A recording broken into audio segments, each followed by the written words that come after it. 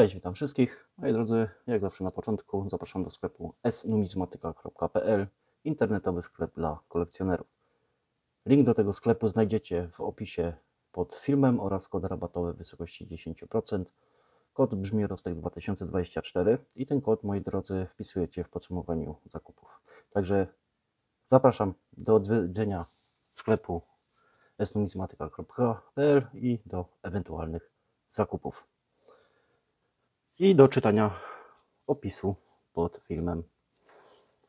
Dobra, moi drodzy, dzisiaj 50 groszy, 77 rok i zaczniemy od opisania monety.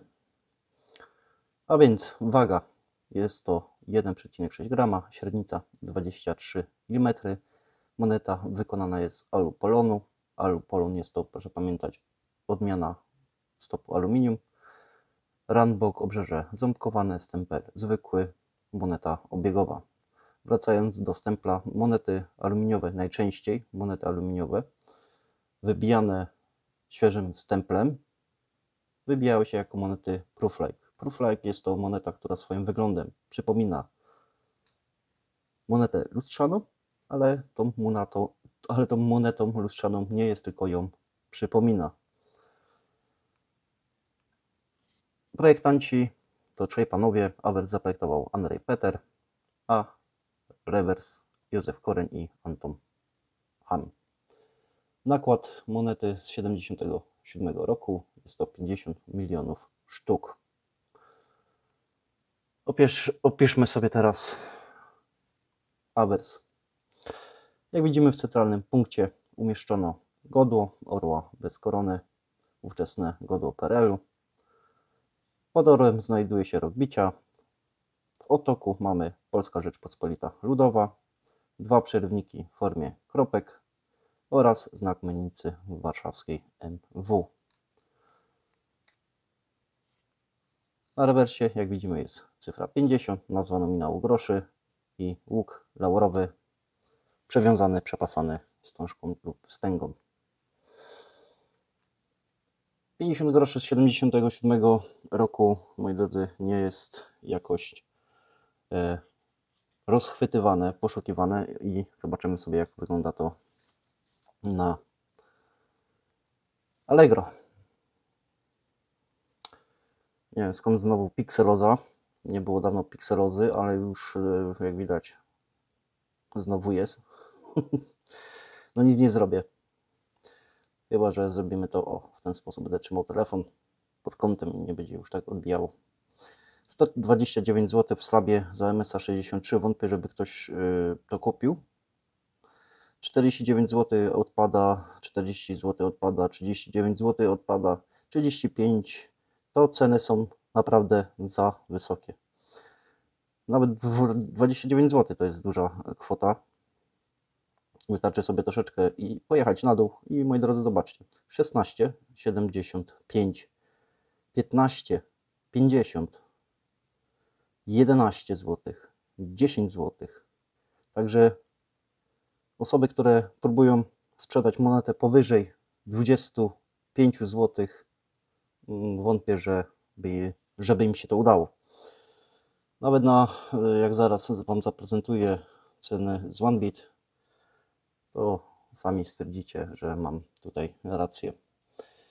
Dobrze, więc przejdźmy sobie do OneBit i dzisiaj trzy pozycje, jedna moneta bez gradingu, dwie w gradingu.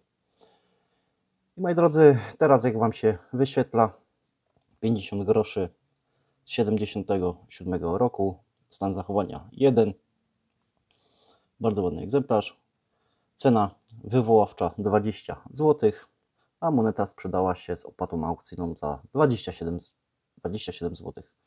Jest to nawet yy, za dużo wedle yy, to, co widzieliśmy przed chwilą na Allegro.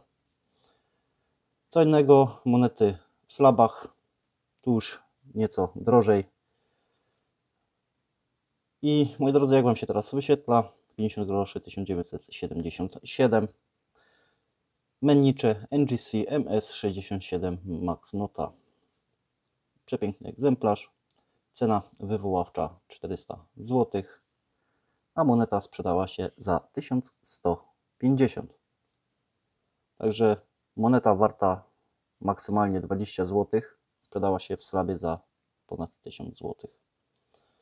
No i ostatnia z pozycji, moi drodzy, jak Wam się teraz wyświetla, 50 groszy, 77 rok, jedyny w Prooflike'u.